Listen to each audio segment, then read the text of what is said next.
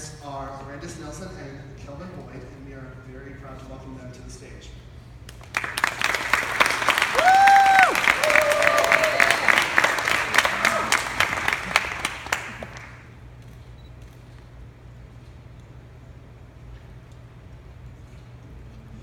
I guess I'll go first.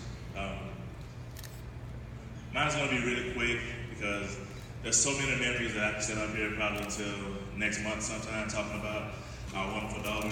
And it's gonna be on a memory that we had growing up with Tahlia.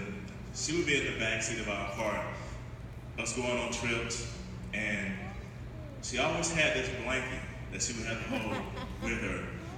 But for some strange reason, on this day, the blanket was not enough. She cried and cried and cried, and we tried to figure something out, what to do. So I just reached my hand back and I held her hand, or she held my hand. I think it was just my pinky finger that she was holding. And um, that made her stop crying. And I mean, that's just a, that's a wonderful memory. And I would like to say to you that you can hold my hand for the rest of your life.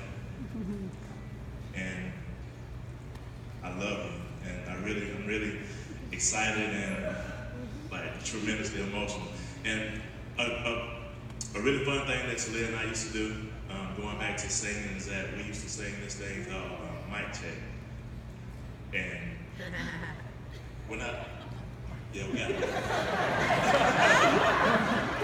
All right, we got it. Give me a mic check, one, a mic check, two, a mic check, three. Whoa, whoa, whoa, whoa. I love you.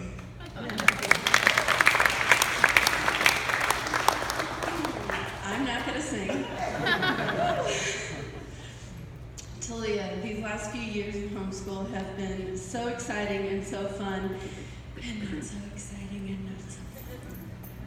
Through it all, you have adapted beautifully.